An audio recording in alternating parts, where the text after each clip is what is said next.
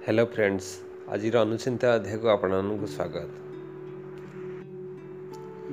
ଭିଡ଼ିଓଟି ଆରମ୍ଭ କଲା ପୂର୍ବରୁ ଆପଣମାନଙ୍କୁ ଗୋଟିଏ ରିକ୍ୱେଷ୍ଟ ଆପଣମାନେ ଭିଡ଼ିଓଟି ଶେଷ ପର୍ଯ୍ୟନ୍ତ ଦେଖନ୍ତୁ ଭଲ ଲାଗିଲେ ଲାଇକ୍ ଏବଂ ସାଙ୍ଗମାନଙ୍କ ସହିତ ସେୟାର କରନ୍ତୁ ଆଉ ଆମ ଚ୍ୟାନେଲଟିକୁ ସବସ୍କ୍ରାଇବ୍ କରିବା ପାଇଁ ଭୁଲିବେ ନାହିଁ ଏବଂ ତଳେ ଦିଆଯାଇଥିବା ନୋଟିଫିକେସନ୍ ବେଲ୍କୁ ଆପଣ ହିଟ୍ କଲେ ଲାଟେଷ୍ଟ ଅପଲୋଡ଼ ବିଷୟରେ ଆପଣଙ୍କୁ ଇଣ୍ଟିମେସନ୍ ମିଳିପାରିବ ଚାଲନ୍ତୁ ଆଜି ଆମେ ଟପ୍ ଏଇଟ୍ ଅନୁଚିନ୍ତା ଉପରେ ଆଲୋଚନା କରିବା ଯାହାକି ଆପଣଙ୍କ ଜୀବନରେ ସୁଖ ଶାନ୍ତି ଏବଂ ସମୃଦ୍ଧି ଆଣିଦେବ। ପ୍ରଥମ ଅନୁଚିନ୍ତାଟି ହେଲା ଯଦି ବରଗଛ ତଳେ କୌଣସି ଛୋଟ ଗଛ ଆପଣ ଦେଖୁଛନ୍ତି ତାହାକୁ ଆଣି ନିଜ ଘରେ ଗମଲା ହେଉ କୁଣ୍ଡରେ ହେଉ କିମ୍ବା ଡାଇରେକ୍ଟ ଭୂମି ଉପରେ ଯଦି ଆପଣ ଲଗାଉଛନ୍ତି ତାହା ବହୁତ ଶୁଭ ଫଳ ପ୍ରଦାନ କରିଥାଏ।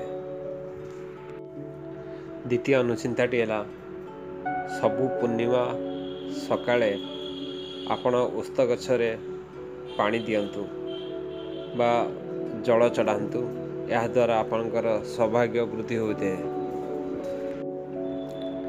ତୃତୀୟ ଅନୁଚିନ୍ତାଟି ହେଲା ଗୁରୁବାର ଦିନ ତୁଳସୀ ଗଛରେ ଆପଣ ପାଣି ସହିତ କ୍ଷୀର ମିଶାଇ ଚଢ଼ାନ୍ତୁ। ଏହାଦ୍ୱାରା ଆପଣଙ୍କ ଦେହ ସ୍ୱାସ୍ଥ୍ୟ ଠିକ୍ ରହିବ।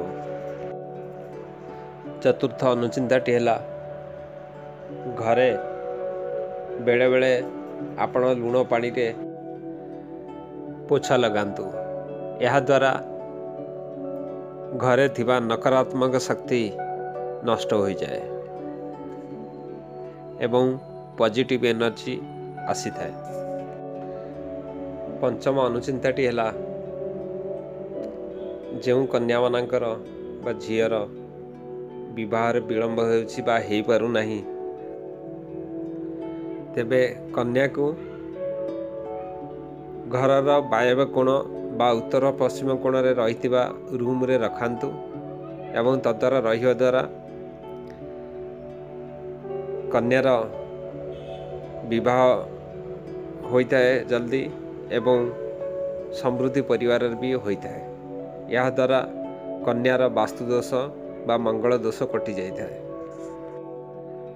ଷଷ୍ଠ ଅନୁଚିନ୍ତାଟି ହେଲା ଆପଣଙ୍କ ଘରେ ଯେଉଁ ବି ଭଙ୍ଗାରୁଜା ଜିନିଷ ପଡ଼ିଛି ଛାତ ଉପରେ ଭଙ୍ଗା ଚେୟାର ଭଙ୍ଗା ବେଡ଼୍ ପୁରୁଣା ଟାୟାର ଯାହା ବି ପୁରୁଣା ଜିନିଷ ଅଛି ଆପଣ କବାଡ଼ିବାଲାକୁ ବିକ୍ରି କରିଦିଅନ୍ତୁ ବା ବାହାରେ ଫିଙ୍ଗି ଦିଅନ୍ତୁ। ଏହାଦ୍ୱାରା ଆପଣଙ୍କ ଶନି ଦଶାରୁ ଆପଣ ବଞ୍ଚିଯିବେ। ସପ୍ତମ ଅନୁଚିନ୍ତାଟି ହେଲା ଘରର ଉତ୍ତର ପୂର୍ବ କୋଣ ବା ଈଶାନ୍ୟ କୋଣ ସବୁବେଳେ ସଫାସୁତୁରା ରଖନ୍ତୁ। ତାକି ସୂର୍ଯ୍ୟଙ୍କ କିରଣ ଡାଇରେକ୍ଟ ଘର ଭିତରେ ପଶିପାରିବ। ଏବଂ ଏହାଦ୍ୱାରା ଆପଣଙ୍କର ପଜିଟିଭ୍ ଏନର୍ଜି ଘରେ କ୍ରିଏଟ୍ ହୋଇପାରିବ। ଅଷ୍ଟମ ଅନୁଚିନ୍ତାଟି ହେଲା ଆପଣ ଘରର ପ୍ରବେଶ ଦ୍ୱାର ଯେତେ ସଫାସୁତୁରା ରଖିବେ ଘରେ ଲକ୍ଷ୍ମୀ ପ୍ରବେଶ କରିବାର ଚାନ୍ସ ସେତେ ବଢ଼ିଥାଏ। କାରଣ ଲକ୍ଷ୍ମୀ ସଫାସୁତୁରା ନିର୍ମଳ ଜାଗାକୁ ପସନ୍ଦ କରନ୍ତି। ତେଣୁ ଆପଣ ଘରର ବାଟ ମୁହଁ ଫ୍ରଣ୍ଟ ସବୁ ଯେତେ ସମ୍ଭବ ଆପଣ ସଫାସୁତୁରା ରଖନ୍ତୁ। ଆଜି ପାଇଁ ଅନୁଚିନ୍ତା ଏଇଠି ରଖୁଛୁ। ଆପଣଙ୍କ ଦିନଟି ଶୁଭ ଏବଂ ସୁଖମୟ ହେଉ। Bye friends